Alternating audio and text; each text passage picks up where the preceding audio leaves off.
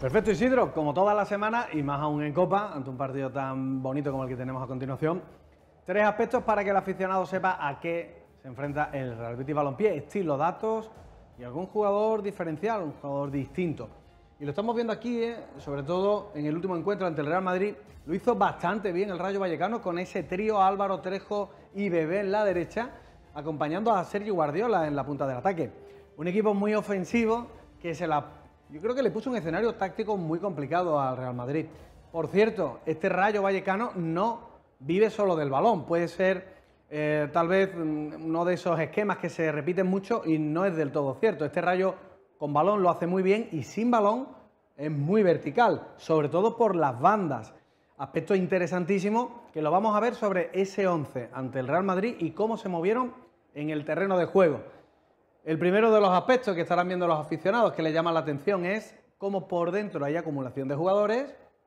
Aquí vemos tres protagonistas y sobre todo en las bandas. Ahí normalmente siempre suelen caer Value, que es el jugador que lo juega prácticamente todo, el ex canterano del Fútbol Club Barcelona, entre otros equipos, y un centro del campo que sobre todo con Trejo hilvana muy buen fútbol.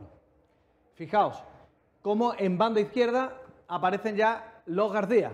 Fran García, por ejemplo, lateral de larguísimo recorrido, ex del Real Madrid, y Álvaro García, el andaluz, jugador más vertical, acompañando siempre a Sergio Guardiola, que hoy vuelve a repetir en el once titular en esa punta de ataque.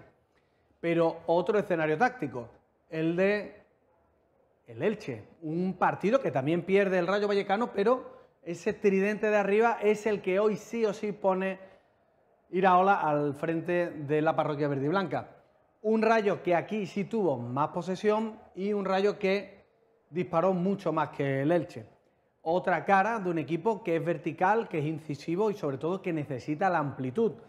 Vamos a verlo de nuevo a la hora de desplegar ese 1-4-2-3-1 en campo rival. Y esto es clave. Esto es lo que hoy seguramente suceda en los primeros 15 minutos.